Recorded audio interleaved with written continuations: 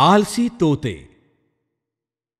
एक घने जंगल में एक पीपल के पेड़ पर एक तोतों का झुंड रहता था। शिकारी कभी उन्हें पकड़ता तो कभी उनके बच्चे ले जाता। इसलिए एक दिन उन्होंने दूसरी जगह जाने का फैसला किया। उन्होंने दूर एक ताड़ का पेड़ खोज लिया। यह पेड़ बहुत ऊँचा होने के कारण शिकारी का उस पर चढ़ना मुश्किल था। झुंड के मुखिया ने सभी तोतों को घोंसले बनाने का काम शुरू करने के लिए कहा। सभी तोते नई जगह को देखकर बहुत खुश हुए और खुशी के मारे चहकने लगे। लेकिन मुखिया सावधान था और अब भी उस नई जगह की जाँच कर रहा था। अचानक उसने उस पेड़ के पास एक छोटी लता को देखा। उसने सभी तोतों को नीचे बुलाया। आओ, आओ, जल्दी नीचे आओ। इस पेड़ के पास जो लता है उसे अभी निकालना होगा। सारे तोते घोंसलों में आराम कर रहे थे। वो अपने घोंसलों से ही नीचे उगी उस लता को देखने लगे और कहने लगे मुखिया जी आप यूँ ही चिंता कर रहे हो।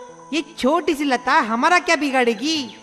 मुखिया उनको उस लता को निकालने की आवश्यकता समझाने लगा। आओ, आओ, आज ये लता नाजुक है। उसे निकालना आसान है। लेकिन वो हमेशा इतनी ही नहीं रहेगी। कुछ दिन बाद वो बड़ी सख्त रस्सी की तरह बन जाएगी। इसे अभी निकालना होगा। आगे जाकर ये शिकारियों का पेड़ पर चढ़ने का साधन बन जाएगी। वो आसानी से घोसलों तक पहुँचेंगे और अनर्थ हो जाएगा। सारे तोते आराम से घोंसलों में बैठे थे। वो अपने मनोरंजन में रुकावट नहीं चाहते थे। मुखिया की बात वो रोज अगले दिन पर टालते रहे। टालते टालते तोतों ने उस लता को बढ़ने दिया। कुछ दिनों बाद लता बढ़कर मज़बूत बन गई।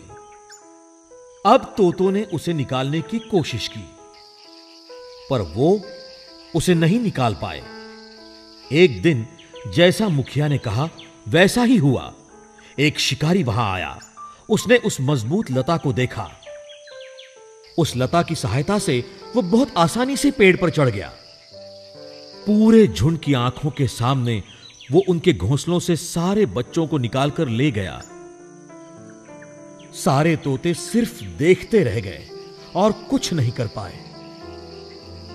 इस घटना के बाद सारे तोते वो पेड़ छोड़कर चले गए।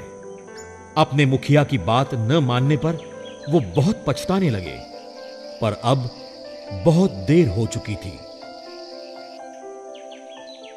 छोटी छोटी बातों पर भी ध्यान देना आवश्यक होता है।